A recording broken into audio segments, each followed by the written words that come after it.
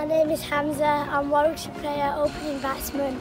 I also bowl leg spin and I can spin the ball.